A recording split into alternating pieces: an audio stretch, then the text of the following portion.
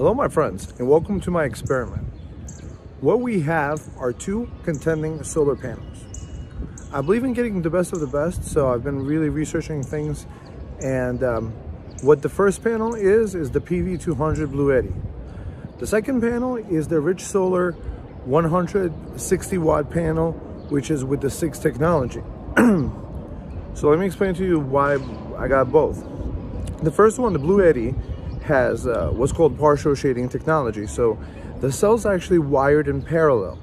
So when you throw, let's say, cover up a quarter of the panels, you still have 75% producing, you know, only a, drop of 25%. As opposed to other panels where uh, a, part, a part of it gets shaded and the whole production turns off. And then you have CIGS technology, which promises to offer a similar thing, but at the same time to be able to capture a broader spectrum of light. So this is a, the Rich Solar 160 watt CIGS. Mind you guys, maybe I got a worse unit, but I don't think, um, you know, it would be working because it works. So I'm excited for you to check out the quick test clips, see it for yourself, and I'm gonna come right back for the conclusion. Shading performance test, take one.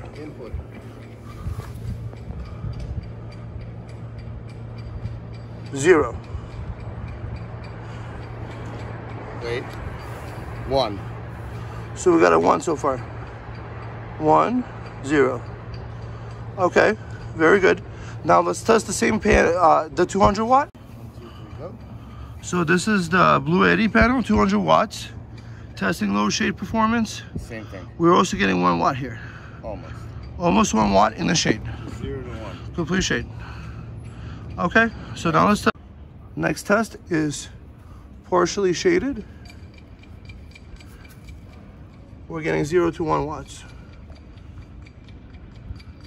Okay. Now a panel going in the shade, we're getting zero watts. Zero to one.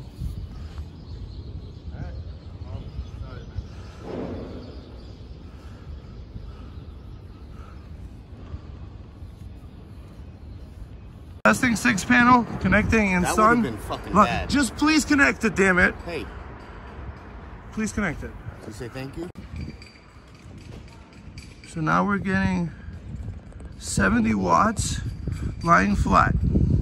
This is the CIGS panel 160 watt. Now, now get some shading on it.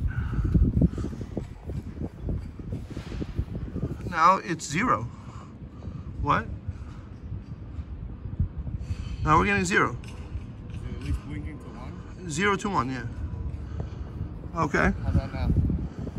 this performance, we're getting uh 20, 21. Alright, now plug in the other.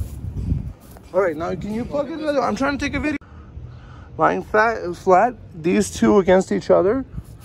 We're getting 74. That's with direct sunlight. Now connecting the CIGS panel. And we are getting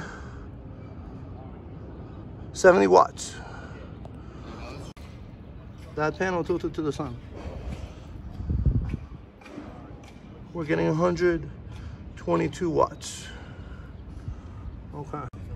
So competitive, this amount of shade made the Rich Solar panel turn off.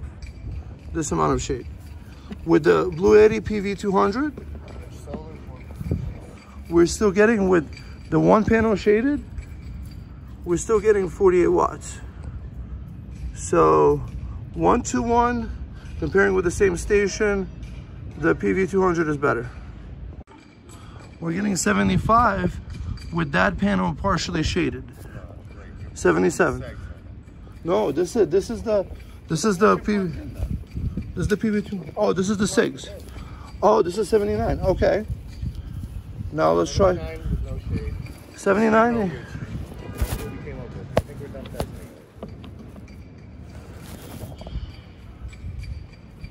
So now we're connecting the other one with the partially shaded 200 watt panel. We're getting 51. 52.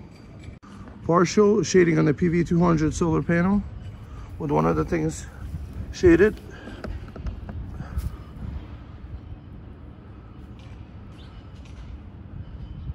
We're getting 66 watts with one of it shaded. This guy, with that part shaded, we're going back to the CIGS panel 160 watt Rich Solar. Zero and one watt. Wow. the Bluetti? Was the Bluetti? The Bluetti was about 500 and this guy was about 500. Oh, but now that it has a little tiny shade, okay, 36. A Little more shade, zero. So, does that mean this partial So shading? weird that, that that little bit of a difference makes 30 watts of difference. Yeah, so these uh, Rich Solar CIGS are not low shading, partial shading technology. Because this one with more shaded gets this guy with that partial shading gets 66 watts. And then if we push it further with even more shading like that, we're getting actually 47, 48 watts. 48 watts. And then let's try the CIGS panel again.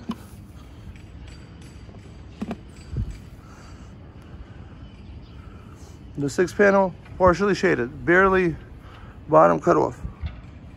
We're getting two watts, zero watts, one watt. Yeah. So the PV200 is the superior panel, at least in this test where we had some partial shading going on and this drops down to zero. What's going on here? Are you actually surprised?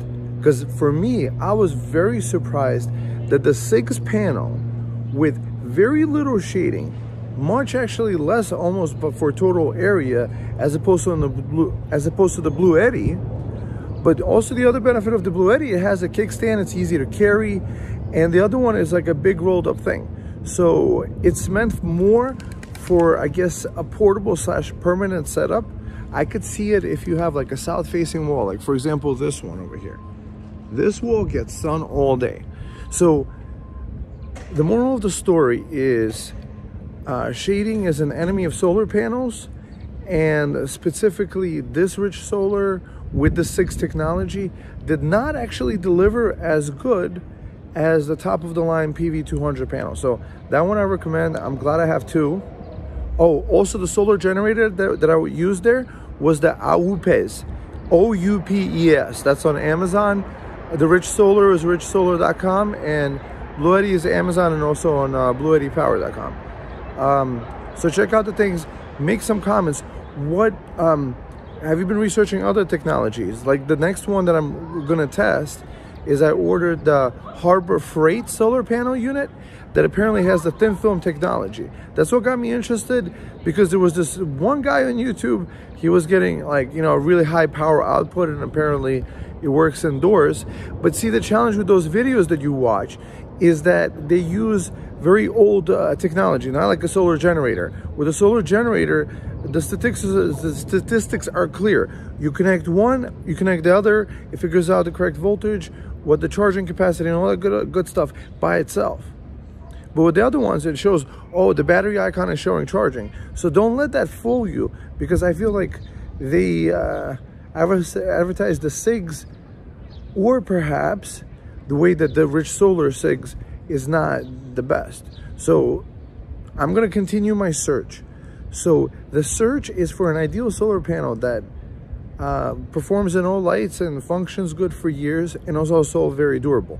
That's the beauty of CIGS is apparently other things like the top of the line contender uh, would be photo energy or fabric or anyways um, there there's these things that a, a solar panel is literally uh, sewn into a blanket and it works good but anyways Uh, leave your comments below and I shall continue testing. Maybe CIGS technology is turned out to be the way it is supposed to be, but my understanding is they use it in space.